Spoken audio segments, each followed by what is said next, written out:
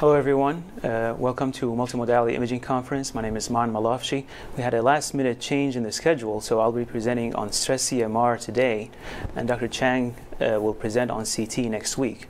So if you came expecting CT, you know, you get to hear about the better test, which is CMR. Uh, please uh, join on pollev.com and enter DeBakey if you want to ask questions or interact with us. We have a, a, good number of cases to talk through. You can also text DeBakey to 37607 and text in your question, and we'll go through these. Um, the local crew, I hope you guys are ready to go through some cases and uh, let's see if we can interpret all of these perfectly as we always do.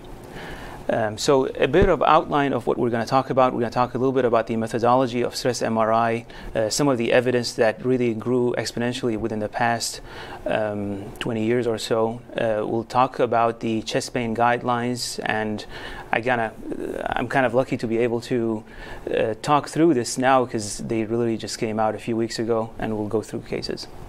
Uh, I'll start with the guidelines though, because this is a, a recent change and um, this is a new and very important document that really highlights uh, very important and recent changes in the way we evaluate chest pain patients and um, how we can um, choose the best test for the, uh, for the right patient.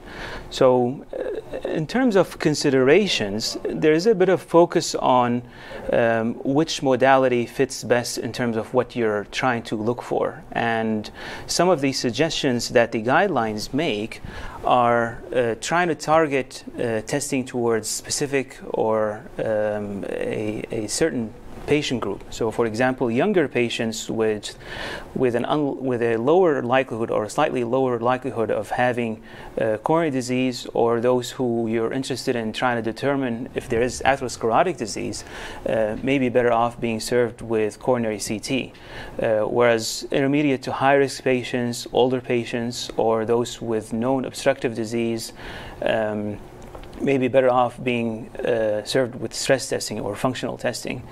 Uh, an important aspect when it comes to MRI is that it hit really it really hits a lot of uh, salient and important points uh, in terms of uh, those who need quantitative flow assessment, uh, in terms of who, those who have LV dysfunction, or if you're interested in looking at the presence or absence of scar, uh, I would really give stress MRI multiple check marks here, particularly with scar. And I hope I can show you that in terms of identification of myocardial infarction or non ischemic injuries, uh, stress MRI and MRI in general has an advantage over the other tests. Um, we'll also talk about potential exercise capacity and um, how exercise MRI could be done. Um, the other very important change, particularly when it comes to MRI, is those who present with acute chest pain now have a class of recommendation um, of one uh, for MRI, whether they don't have any known coronary disease, whether they have known coronary disease and a prior bypass, particularly also those with an MI and no obstructive coronary uh, disease on the uh, angiogram, uh, and those with potential myocarditis. All of these now um, are served with a class 1 recommendation for MRI, um, as well as those with uh, known CAD. Uh, the strength of recommendation is generally the same for stress MRI as it is for the other strategies, and we'll go through uh, some of this in a little bit more detail. So here's an example: uh, someone with an acute chest pain episode, uh, no known coronary disease, intermediate risk. Um, you can go with either an anatomic strategy or a functional strategy, but notice all of the functional testing uh, strategies receive the same recommendation someone with acute chest pain and known coronary disease, you can also see that essentially stress MRI receives the same level of recommendation as other functional testing modalities.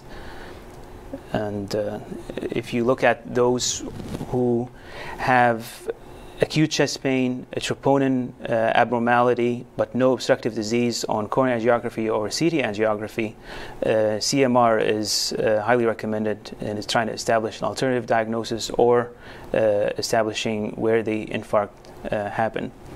Um, in those who have suspected myocarditis, CMR is also highly recommended uh, to determine the presence and extent of inflammation. You can also assess the pericardial inflammation. This is highly beneficial in following patients on therapy as well. And uh, all of these really are uh, classes of recommendation one for MRI. Uh, what about patients with stable chest pain? Uh, same thing. Those with stable coronary disease or stable uh, chest pain suggestive of ischemic heart disease, class one recommendation for MRI, whether they have no obstructive, no coronary disease, no known coronary disease, whether they have established obstructive disease, uh, prior bypass, and whether they have a prior evaluation that showed uh, atherosclerotic disease without obstruction. And uh, patients with ischemic disease but no uh, observed epicardial disease also have a, um, a class 2A recommendation for MRI to uh, try to determine coronary microvascular disease, and we'll get into that in a little bit more detail further on. Um, this is another summary and essentially says the same thing. You can choose whichever test your institution and your expertise is more, um, you know, is more beneficial. Um, and then you could also consider um, what other questions you're trying to answer with the test. Uh, for example, does the patient have concomitant valvular disease where you want to be able to evaluate that further? Does the patient have any concomitant aortic disease where you get multiple you know, questions answered within the same test? Uh, then you can consider MRI for these kind of cases.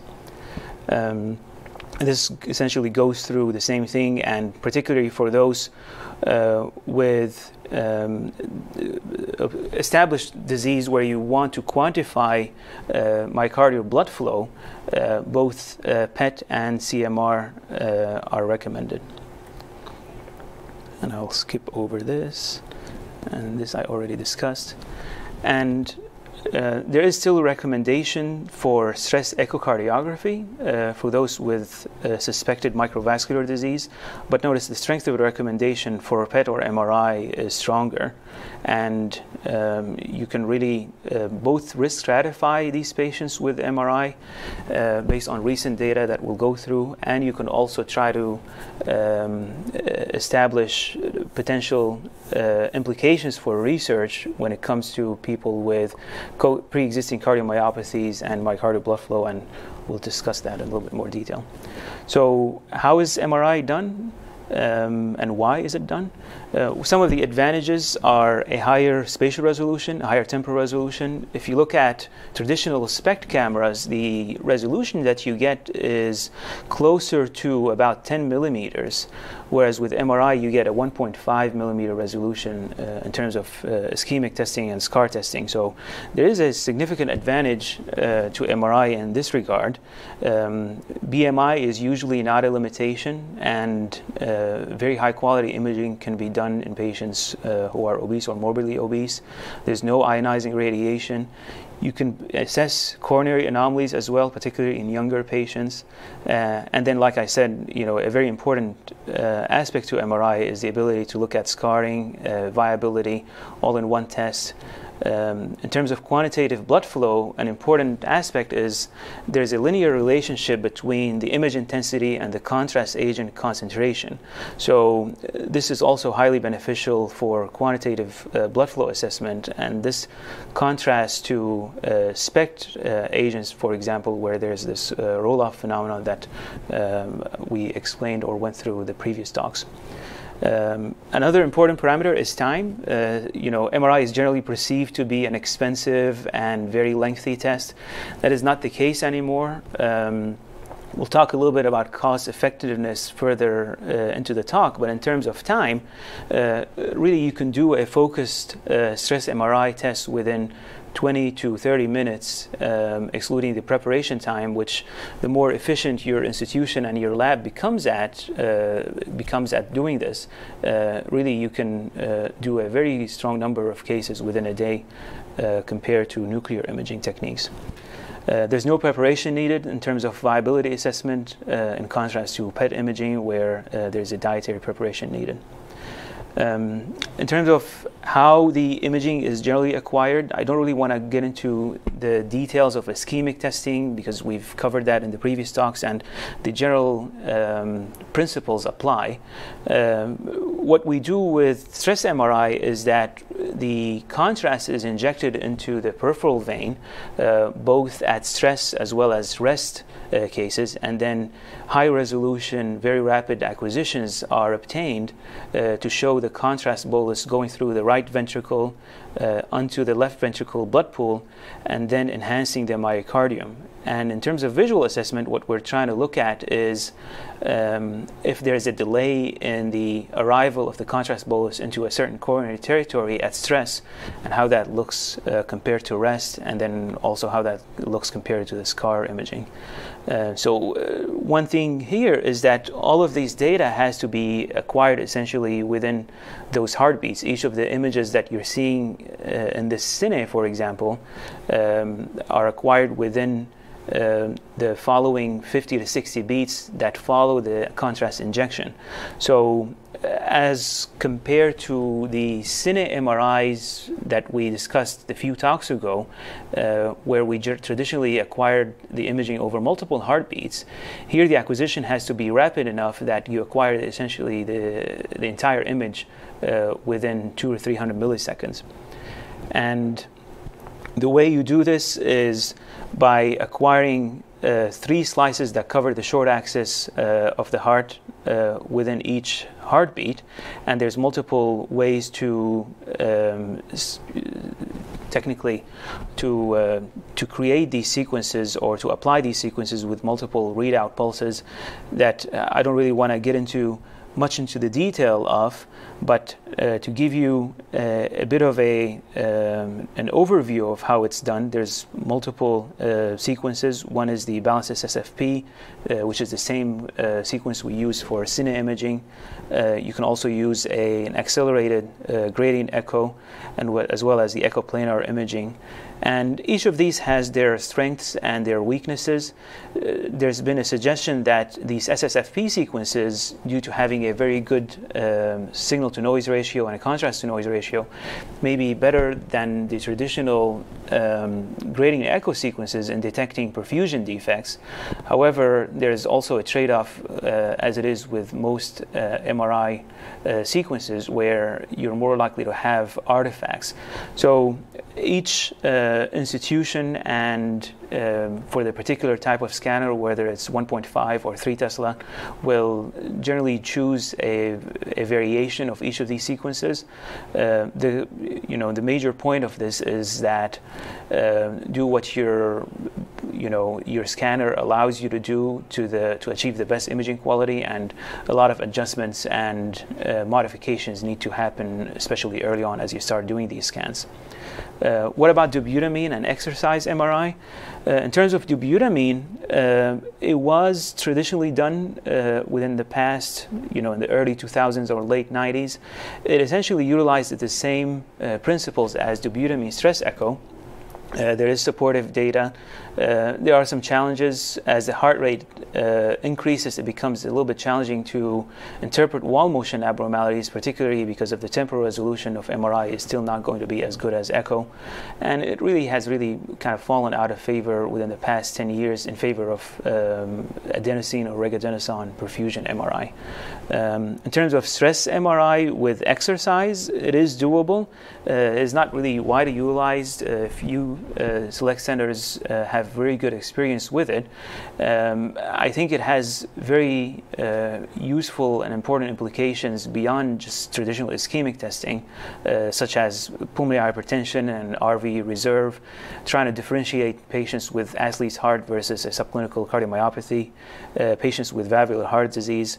And it is doable. Um, you can have a magnet safe treadmill that sits right next to the uh, magnet, and the patient exercises and then uh, goes onto the scanner. Um, this is how these compare in terms of timing. So if you do a do if you do a dobutamine uh, MRI, you start with survey imaging and then the rest cine imaging for function at baseline for all of these tests.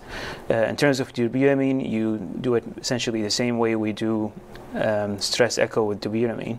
Um, in terms of perfusion, Uh, you start with the adenosine or regadenoson in uh, other cases uh, scenarios, and you, you, perform your stress perfusion uh, with contrast, and then you give another bolus of contrast to get your rest perfusion, and then about 20 minutes later, uh, you will be able to do your LGE imaging.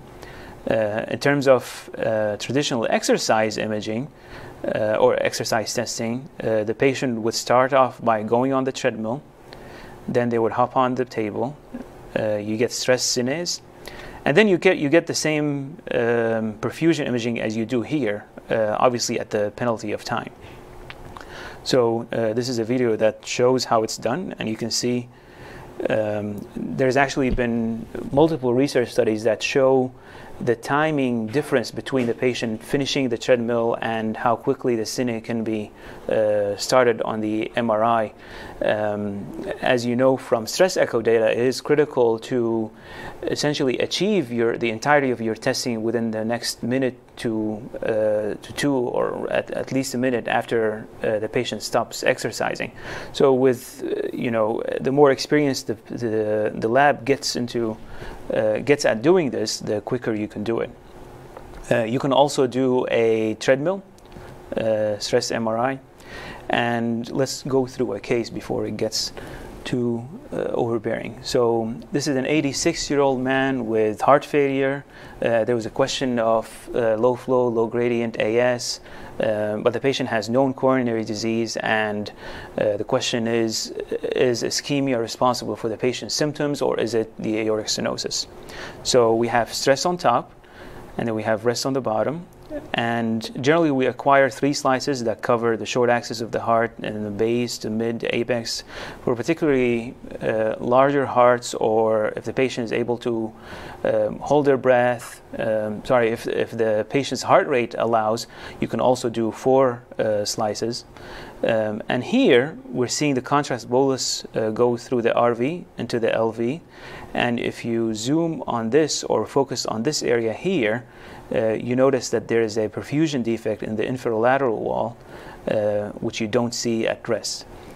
And if we go through the LGE imaging, uh, you see that there's a small infarct here in this inferolateral wall um, segment. So uh, we'll get a little bit more into the exact method of interpretation, but here we have essentially the impression of a subendocardial infarct in the inferolateral wall, uh, probably corresponding to the OM territory, associated with a perfusion defect on stress that uh, extends beyond the area of the infarct. So there's scar with peri-infarct ischemia. Um, and then the patient had a cath, and as you can see, they have a total slash subtotal sequential uh, stenosis in the OM. Uh, they have an RCA lesion here, which you could argue we couldn't really see, although it certainly looks significant. And we'll get a little bit more into this further on. You could potentially try to identify cases like this with two vessel disease or three vessel disease, where quantitative perfusion can potentially identify these beyond uh, with a higher sensitivity compared to uh, visual uh, assessment of perfusion defect. Now, in terms of how we interpret these, uh, this is a paper from 2006 from the Duke group, which um, um, wasn't a huge uh, pa- uh, patient cohort. It was about 100 patients, but it was very thorough and very methodical.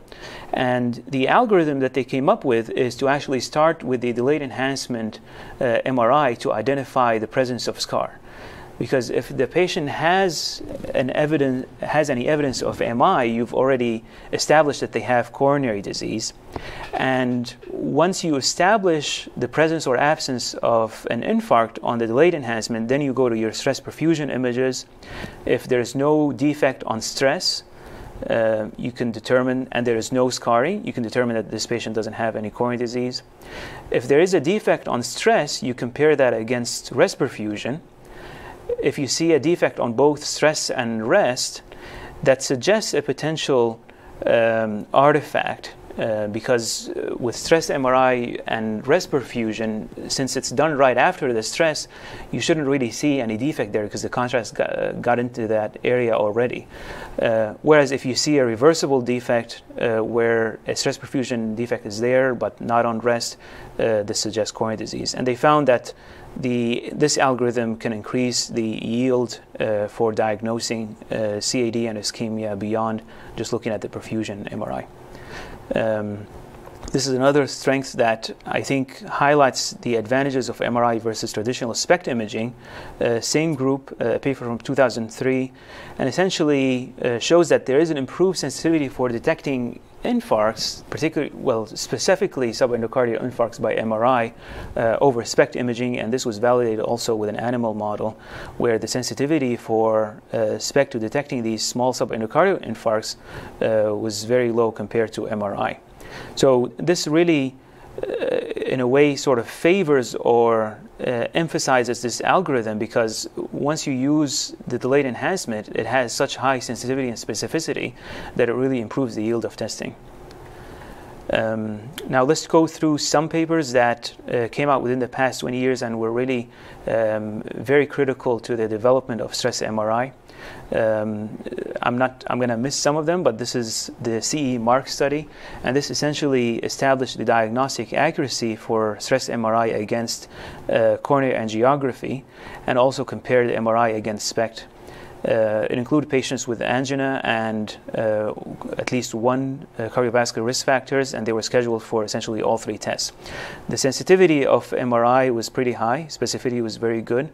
Um, both of these, both the sensitivity and the negative predictive value were better for MRI, whereas the positive predictive value and specificity were not different.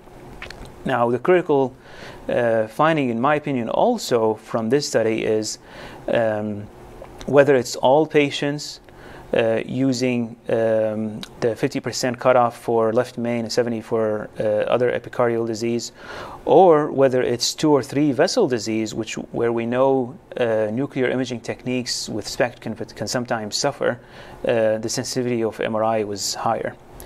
Uh, the CE-MARC study followed, and this essentially had a a, um, a, um, a, design where patients with suspected ischemic heart disease were randomized to either CMR guided care versus perfusion guided care versus uh, the NICE guidelines uh, directed care.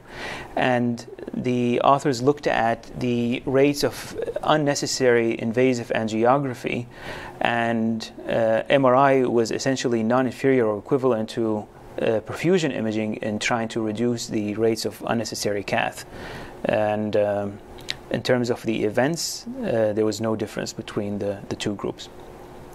Um, we always look at the ischemic thresholds with nuclear testing, and we all know the ischemia trial results. And um, in terms of MRI, uh, there was a single study that looked at uh, not just the presence of ischemia, but also the burden uh, defined as number of ischemic segments uh, on a 16 segment model.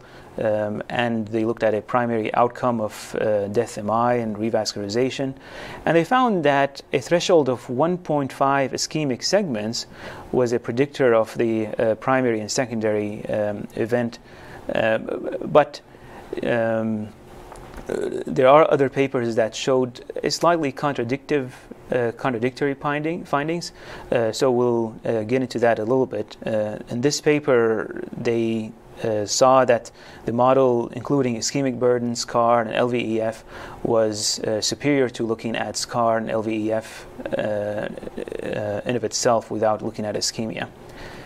Um, in terms of prognostication, uh, I'm going to just try to highlight a couple important papers just for the sake of time. Uh, this is a paper that looked at 9,100 patients with 1,500 events, and these were mortalities. This is one of the few papers that utilize the SCMR registry, and essentially um, showed that the presence of ischemia is uh, predictive of, pro- uh, of uh, hard outcomes, whether the patient has coronary disease, no coronary disease, normal LVEF, abnormal LVEF, um, and essentially the findings were consistent across all subgroups. Um, the SPINS trial, um, which we participated with along with with the previous study, uh, looked at uh, stress MRIs from 13 centers and uh, included patients with at least a follow up of four years with the primary outcome of uh, CV death or non fatal MI. Uh, this study looked at 2,300 patients and followed for a median of four, uh, 5.4 years. And as with other uh, um, studies, and uh, from what we intuitively know, the presence of ischemia plus scar uh, was associated with the highest hazard for events compared to uh, presence of scar without ischemia or uh, lack thereof of either scar or ischemia. Um, in terms of uh, other findings from this from the SPINS trial, um, the primary outcome um, was uh, had a graded response in terms of uh, lack of ischemia or scar versus presence of ischemia scar, and this persisted throughout the follow-up duration for the uh, for the study. Uh, another important uh, finding from the SPINS trial is that patients with negative stress MRI, no ischemia, no scarring, had very uh, low average uh, costs on downstream ischemic testing uh, compared to stress nuclear highlighted here in yellow, whereas the stress CMR in black you can barely see in terms of annual costs for future testing. Um, X-ray angiography obviously associated with high costs, and CT uh, I would argue probably has a little bit of a higher cost if you include the downstream uh, increased um, uh, rate of cath following CT. Um, not only this, but the rate of revascularization was also persistently um, um, associated across the years of follow-up, and um, the uh, the extent of ischemia wasn't really associated um, with the rates of revascularization as compared to the previous study that um, uh, we looked at, and you know this could potentially argue that you know it makes you wonder whether patients with one segment of ischemia may have been false positive scans. Obviously, not all of them, but some of them may be. Um, in terms of um, uh, one important finding from the SPINS trial, though, uh, when the core lab assessed about 10% of the studies uh, of the studies included within the trial, uh, there was only a modest concordance rate between um, um, the core lab and the individual sites' uh, interpretation of the MRIs. So there's still work to be done in this aspect, and um, we'll see if, uh, if future developments, particularly with quantitative perfusion and more automated acquisition of these and interpretation, uh, could potentially help. Uh, an important sub-study of the SPINS trial looked at um, healthcare costs and looked at um, quality adjusted life years, uh, comparing stress MRI against CT, against an Im- strategy of immediate uh, coronary angiography or no imaging. Uh, for patients with chest pain. And it utilized findings from the SPINS trial as well as historical findings from previous studies that looked at um, uh, other testing modalities. And what they found was that um, the, the, the strategy of stress MRI was actually the most optimal in terms of uh, minimizing costs uh, while achieving uh, quality adjusted life years. Uh, where obviously, as you expect, uh, immediate coronary angiography was not cost effective. And then SPECT and uh, coronary CT also resulted in higher costs while achieving lower quality adjusted life years compared to MRI. Um, and this I believe I covered already. Uh, a no imaging strategy, uh, as you expect, uh, was associated with lower costs uh, and then a lowest rate of diagnosis of obstructive disease, but also uh, was associated with a lower life expectancy and a lower uh, quality adjusted life years. So, in this paper, the conclusion is that MRI could potentially be um, a test to uh, achieve better outcomes while uh, minimizing uh, additive costs. Uh, these are the conclusions from the SPIN trial, the SPIN trial overall. Um, uh, the, the, the MRI strategy was optimal for patients with an intermediate disease prevalence uh, with a lower likelihood that the patient will have a false negative results, which would lead to a return for further testing or angiography within the year. Uh, whereas a high prevalence of disease or a high risk patient uh, would favor immediate coronary angiography. Um, a high likelihood of return after a false negative uh, favors no imaging. If you um, think the patient is low risk and um, their chest pain symptoms are um, not convincing, um, then you could consider uh, coronary calcium testing as the chest pain guidelines say. But um, there should be really a push for uh, no imaging uh, or no further testing in patients that are low risk with non convincing chest pain symptoms. Um, so, this will address one of the questions that we got, which uh, says how is stress CMR similar to invasive FFR? So this is one of the latest uh, trials that came in the FFR and CMR world, and this is the MR-INFORM trial. Uh, the hypothesis is that guiding initial management uh, with stable angina, uh, intermediate to high risk coronary disease uh, by MRI is non inferior to invasive angiography and FFR. Um, so this is testing a strategy, not the accuracy of stress MRI versus FFR in of itself. Uh, but you could argue that that's just that's even more important. And there are other studies that show uh, very good concordance of stress MRI against uh, uh cath with FFR. So the M- so back to the MR-INFORM. So MR-INFORM looked at stable angina, uh, risk factors, uh, excluded p- patients with AFib, frequent ectopic beats, very low EF, PCI, and bypass. So these are important considerations, and um, patients were randomized to either uh, FFR versus stress MRI. Uh, FFR was essentially uh, angiography for everyone. Uh, FFR in patients with uh, arteries that are large enough with an intermediate degree of stenosis. If abnormal FFR revascularization was recommended. In terms of uh, the MRI arm, it essentially followed the same parameters that we discussed. So adenosine, uh, stress rest using a traditional dose of gadolinium contrast, then delayed enhancement uh, after about 20 minutes. If there is a defect, uh, um, whether it's transmural or uh, subendocardial uh, to suggest an infarct, then angiography was recommended uh, with a planned revascularization.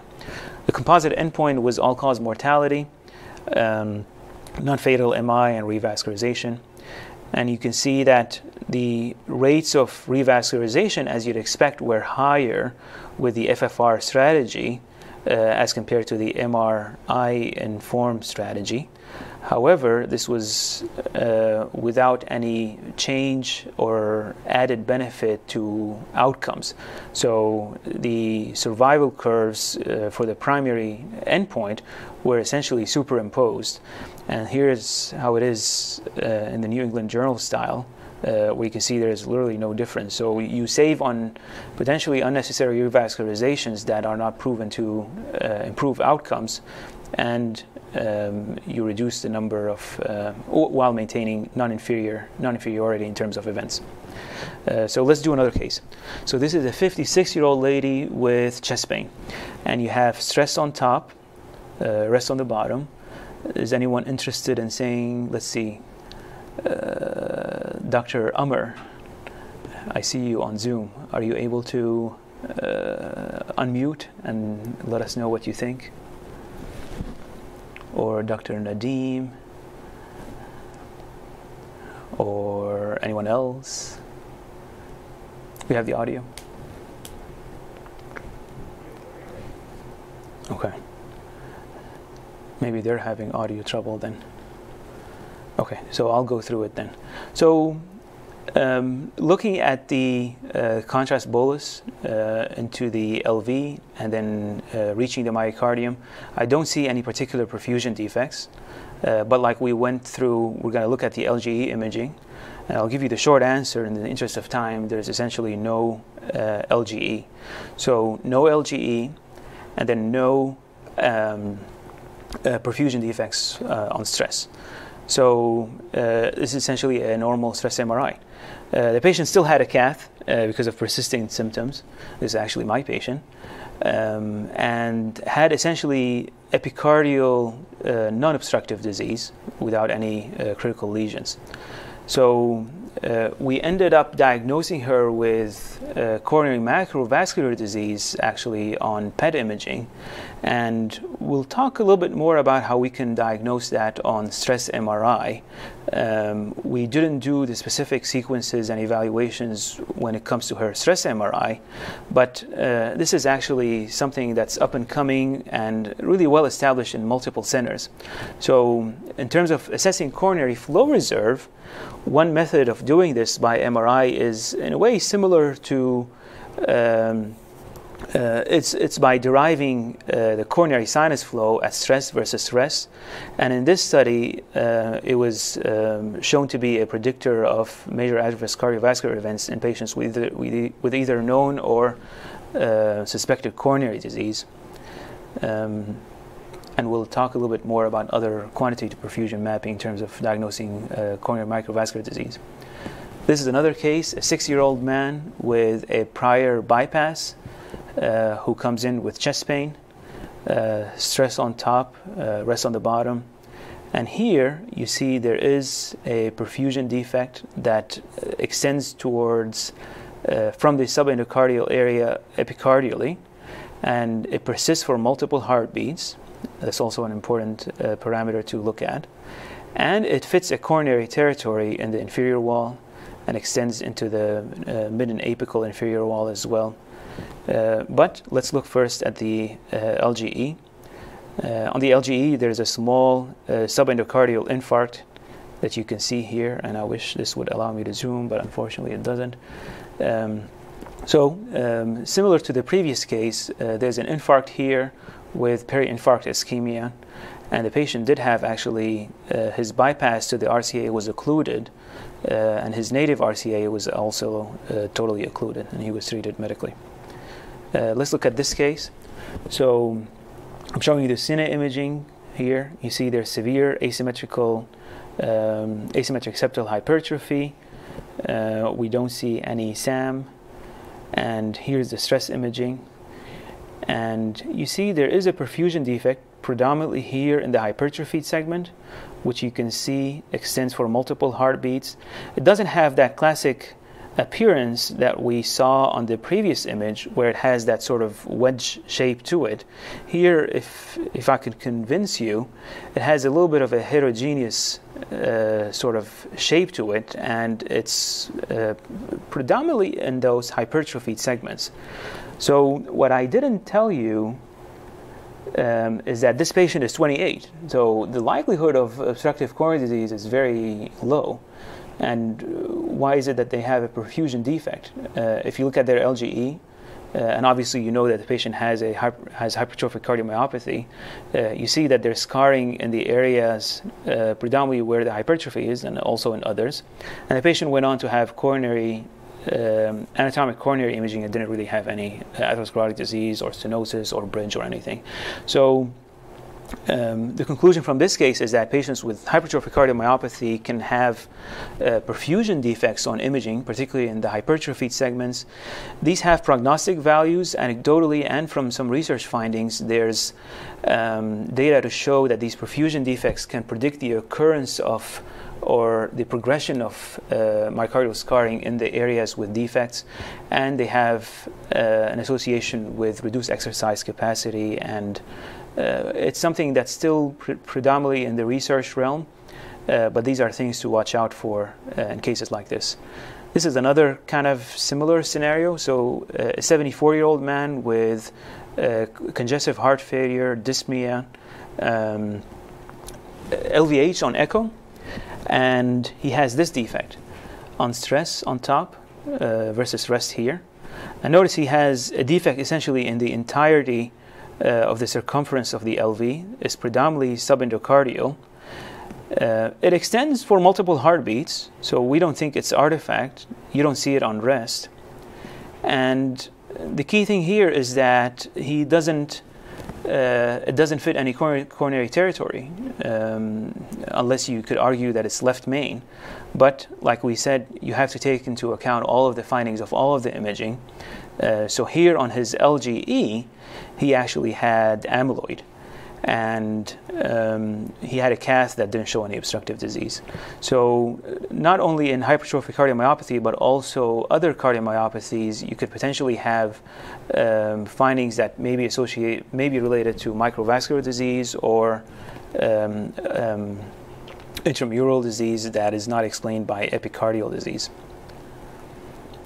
Um, here's another case. So, since we went through the HCM cases, uh, another case of asymmetric septal hypertrophy, SAM, uh, LVOT obstruction, and he had a stress. So this is all stress uh, going from the base to the apex.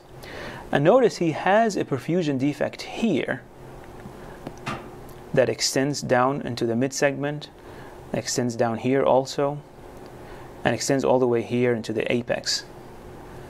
Uh, let's see, is there anyone who has any mics that are functional and Amr? Nadim? Okay, still no. Um, so, do you call this a perfusion abnormality related to HCM or is this coronary disease? Uh, some of these cases can be tough. You know, one could argue that there's no significant perfusion abnormality in the um, in the septum, where where it's actually most hypertrophied. Uh, this does fit a coronary territory that's like an LAD diagonal type of uh, pattern. So not all of the cases are, you know, black and white when it comes to this. And um, again, you know, you're going to get a lot more bang for your buck when you use your LGE imaging to help you. So on LGE, this patient actually has an infarct here inferiorly.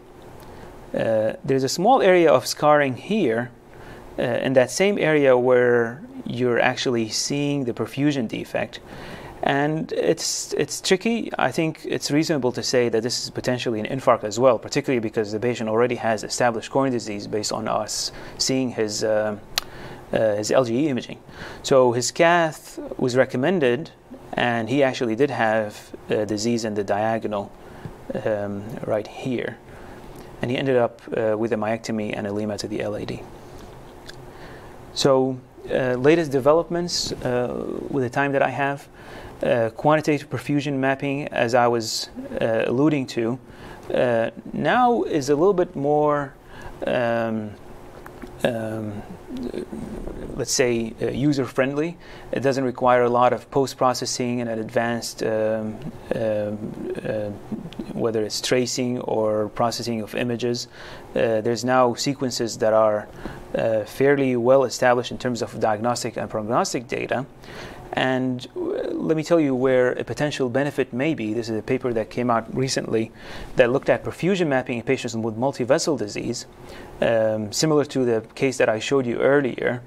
Um, it actually showed that in terms of visual assessment versus perfusion, quantitative perfusion assessment, there isn't really a big difference when it comes to single vessel disease. But where the potential benefit can happen is patients with two vessel or three vessel disease, where perfusion, uh, quantitative perfusion imaging actually had a potential advantage over, over just visual assessment. And in terms of coronary microvascular disease and differentiating that from multivessel disease and epicardial disease, uh, these quantitative perfusion uh, parameters can actually help you try to um, identify the patient's CFR um, and determine whether it's uh, microvascular disease versus obstructive disease. And you have to integrate essentially same as we've been doing the LGE findings, uh, the visual perfusion defect, uh, the cine imaging, as well as uh, now the quantitative perfusion defect. Okay, I think this may be the last case. So, a 66 year old man, uh, prior bypass, uh, now has angina. Uh, cine images show thinning and a wall motion abnormality here, and the inferior wall suggestive of an infarct. Here's the stress.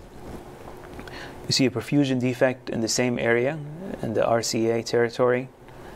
Um, now we can't tell if it's uh, just the infarct or um, if this is you know additional ischemia beyond just the infarct. We have to look at the LGE. And notice here also there's a perfusion defect in the anterior wall that extends here in the mid segments, down here and here, and all the way to the apex. On his LGE, uh, there is an infarct here in the inferior wall, like we suspected, and on his cath, um, he actually had um, severe left main slash proximal LAD disease, uh, which was treated with PCI. He does have a lima, but his lima was actually connected to this to his circ, um, and his RCA was occluded uh, with a patent graft. Okay, so in conclusion, uh, stress MRI is powerful uh, for uh, a comprehensive, non-invasive uh, ischemic evaluation while maintaining a detailed assessment when needed. Um, you can do a 20-minute scan and assess the uh, ischemia and scar, or if the patient has multiple things going on, uh, then you have to uh, then you can go to 40 minutes and still answer a lot of questions without having the patient to go through multiple uh, lines of testing. Uh, the new 2021 uh, chest pain guidelines now recommend CMR. Um, with a strong classic recommendation and equivalent really to most other functional modalities and most scenarios. In certain scenarios, it's actually preferred also, uh, potentially coronary microvascular disease, uh, an MI without obstructive disease and um, stress MRI uh, can be performed efficiently, but also importantly is more cost effective uh, than uh, many other non invasive strategies uh, while maintaining non inferiority in terms of events uh, compared to an FFR guided strategy. Uh, quantitative perfusion MRI has great potential, uh, particularly in patients with multivessel disease, microvascular disease, and now it's um, you know commercially available and uh, easily do- easily doable. Okay, so any breakthroughs around the corner? I think uh, the hottest thing right now is the quantitative perfusion, and um, there are still other uh, major advantages that are happening. Uh, for example, 3D LGE assessment, um, trying to obtain multiple, uh, a wider coverage. You know, some of the criticism to MRI is um, that you're only getting three slices of the LV rather than the entirety of the LV. But in reality, I would say, you know, the way coronary disease behaves, usually having those three slices will give you more than what you need uh, to assess epicardial disease. Uh, any questions from here? Or anything else? Okay, well, looks like we're all done. Uh, thank you all for attending, and we'll see you all next week.